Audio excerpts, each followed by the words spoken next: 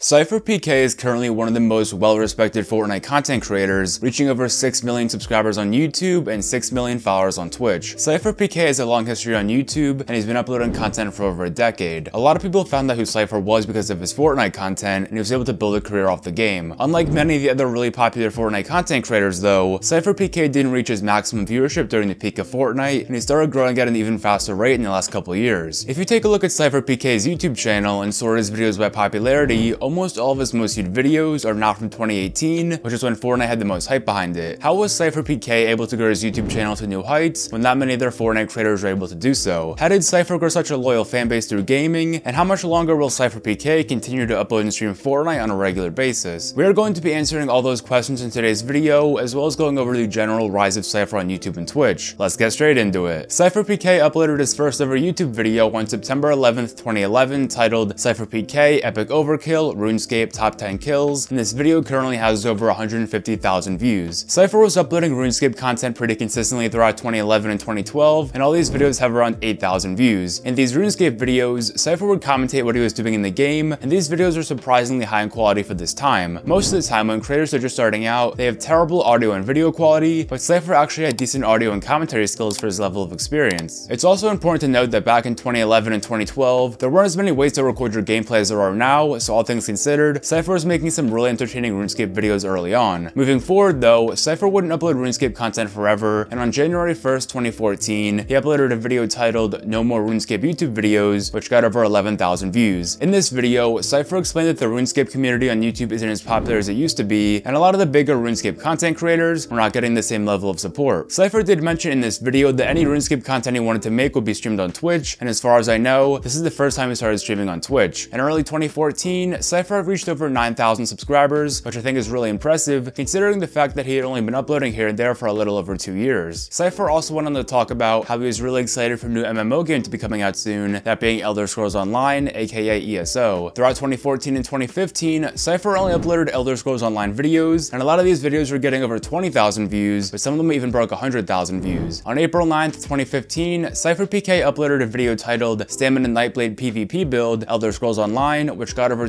240,000 views. Not only was Sypher growing a lot on YouTube, but he was also growing a small community on Twitch as well. Due to how successful Sypher was becoming on both platforms, he decided to take a semester off from school and become a full-time content creator. He explained this decision on August 27th, 2015 with a video titled Going Full-Time on YouTube slash Twitch, and everyone in the comment section was extremely supportive of his decision. Sypher kept on growing by uploading Elder Scrolls Online videos during 2016, but the game was getting very repetitive for Sypher, especially because he was uploading and streaming the game non-stop. He decided to branch out his channel in early 2017 by uploading a lot more For Honor content, and these videos were getting just as many views if not more views than his Elder Scrolls Online videos. He was still uploading ESO videos every now and then, so it's not like he just stopped playing ESO one day and started uploading For Honor, but he definitely added more variety to his content. Also in 2017, Sypher was streaming For Honor pretty much every day on Twitch, and he was averaging around 500 concurrent viewers, which is a really solid amount. As most of you may know, Fortnite Battle Royale came out in 2017, and Sypher PK started to upload the game a few weeks after it came out. On October 23rd, 2017, Sypher uploaded his first Fortnite video titled Biggest Fail Ever Fortnite Battle Royale, and this video got over 70,000 views. It may come as a surprise that Sypher's Fortnite videos didn't get a lot of traction in the beginning, and a lot of his Elder Scrolls Online videos and For Honor videos were getting a lot more views than his Fortnite content. This is actually pretty common when a YouTuber starts posting a different game on their channel, and it usually takes a little bit of time before a creator can grow an audience with a new game. Sypher kept on uploading Fortnite though, and it obviously paid off because he became one of the most popular Fortnite YouTubers and Twitch streamers. One of the ways SypherPK was able to grow in the Fortnite genre was by posting tutorials on the game. He uploaded videos such as becoming the best in Fortnite Battle Royale, advanced guide, how to be a pro, and turbo building mode, guide and explanation, all of which got over 200,000 views. Sypher was an amazing Fortnite player, always uploading 20 plus kill gameplays, which also helped his Fortnite tutorials because nobody wants to take gaming advice from someone who isn't actually good at the game. Sypher didn't only grow from Fortnite tutorials though, and he gained a large audience due to his Fortnite challenge videos, such as him winning a game of Fortnite with a trap tower. Sypher uploaded a video on July 6, 2018 titled This is why they call me the Trap King, which got over 400,000 views. Once SypherPK got momentum on YouTube with his Fortnite content in 2018, all of his videos were pulling over 500,000 views, and he'd stopped making Elder Scrolls Online and For Honor videos altogether. Sypher also started to stream Fortnite daily on Twitch, and he was averaging over 10,000 concurrent viewers in the summer of 2018. Sypher was different from a lot of the other Fortnite content creators, mainly because he was more laid back in his content style. He didn't start yelling after every nice kill he got like Ninja, but he still offered some energy to his stream. Stream. Oftentimes, it seems like streamers overreact to every little thing that happens in hopes of being entertaining, but SypherPK came across as a lot more genuine when live streaming. Moving forward to 2019, Sypher kept on uploading and streaming Fortnite full time, and his content was still getting the same level of viewership, with most of his videos getting hundreds of thousands of views, with the occasional video getting over 1 million views. As for his Twitch account, he was still averaging around 5,000 concurrent viewers, but on October 14th, 2019, Sypher would stream on Twitch and get a ridiculous 64,000 concurrent viewers. The reason his stream did so well that day was because the Fortnite Black Hole event was taking place, and everyone in the Fortnite community was going crazy trying to figure out what this meant for the game. Sypher was one of the go-to content creators people watch when it came to Fortnite news and updates, and every single time a new chapter or season of Fortnite came out, his viewership would increase significantly. Jumping forward into 2020, this is when Sypher would really take advantage of other games competing with Fortnite. On March 10th, 2020, Warzone came out, and it was being streamed by a lot of the top Fortnite creators who had grown frustrated with the game. Tfue was arguably the most popular Fortnite YouTuber in the world during 2019, but he started uploading and streaming a lot more Warzone, making his Fortnite viewers have to find someone else like Sypher to watch. Tim the Tatman is another example of a Fortnite content creator leaving for Warzone in 2020, and even though a lot of everyday people quit Fortnite and started playing Warzone, a lot of people still played Fortnite every single day. Sypher PK still enjoyed playing Fortnite, and despite him uploading some Warzone content on a second gaming channel, More Sypher PK, his main channel was strictly Fortnite. Sypher was averaging over 1 million views per video in 2020, making it his most successful year on the platform. When it comes to Twitch, Sypher was averaging 7,000 concurrent viewers per stream, so he was doing extremely well on both YouTube and Twitch. Another explanation for Sypher's increase in viewership could be the pandemic shutting down the world, which gave people a lot more time to watch content. I don't find this argument that convincing though, because his YouTube channel is still getting millions of views per video in 2023, so it's not like people stopped watching Sypher's content after the pandemic got under control. I also think that Sypher's consistency played a major role in him succeeding on social media, because he's uploaded over 2,000 total videos to his YouTube channel, which is the equivalent of daily uploading for five and a half years straight. He's also streamed over 2,000 times in the last six years, and he